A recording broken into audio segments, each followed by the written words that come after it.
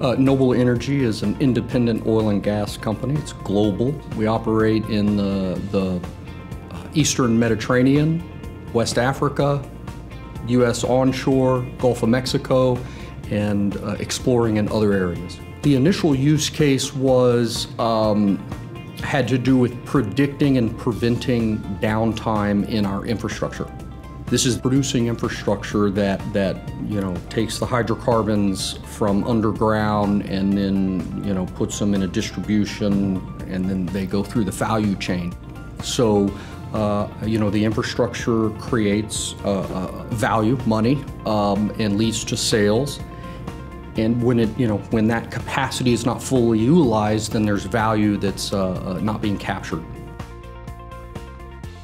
We knew that uh, big data was good at predictive analytics, given the right data and the right models, etc.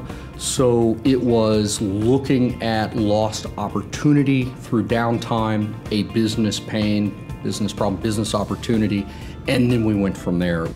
The hype is real. You know, if given given the right data and given uh, the right expertise and the right focus, this can truly, um, you know, optimize and improve the performance of the business and the infrastructure. I see this technology as giving us the capability to prevent and to prevent injuries, to prevent people from being hurt as fast as we can get that perfected. That that would be that would be breakthrough. The value is there to be captured. There's no question about it. We're in the midst of a paradigm shift. So uh, the idea of going all in on, on a, a complete pro proprietary solution, uh, we didn't want to do that.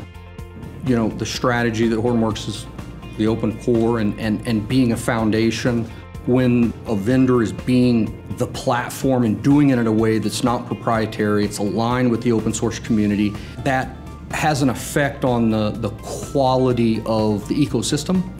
And then you look at the people, the team is made up of folks that invented this technology. So uh, strategy and people uh, just seem to be the right fit for us.